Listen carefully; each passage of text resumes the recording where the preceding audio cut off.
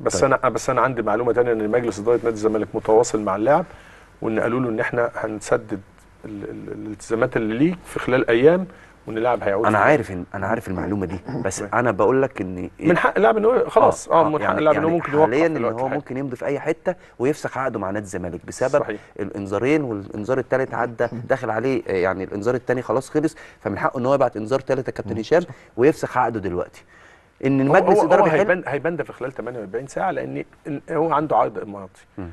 و48 ساعة واعتقد إن القيد هيتم غلقه في الإمارات. فبالتالي هو مش هيكون قدامه غير إن هو. يا إما يا إما يوقع. يا إما يعود تاني طيب لنادي الزمالك. حلو قوي يبقى يبقى أنت عندك دلوقتي الزمالك أو فرقة الزمالك محتاجة على الأقل خالص كابتن أحمد ثلاث صفقات. فرود وده أمر مهم جدا. جناح وده أمر مهم جدا شمال مع third back من ال third باكات.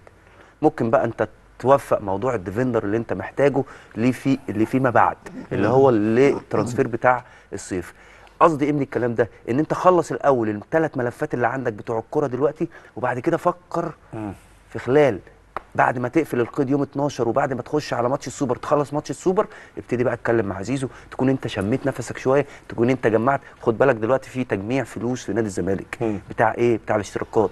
داخل رقم مش قليل. وفي زحمة كبيرة جدا دلوقتي الحمد لله والمجلس عامل غرامات على التأخير فهيبتدي الناس تروح عشان تسدد ال ال ال ال الاشتراكات. ودي هتجمع رقم كبير.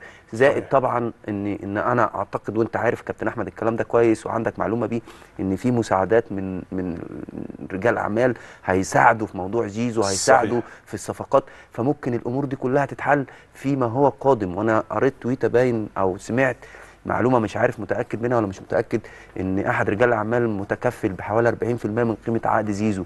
فده برضه هيوفر على النادي مبلغ كبير جدا وهيساعد فيه. فإن زيزو يجدد بعد الترانسفير أعتقد الأمور هتبقى سهلة جدا.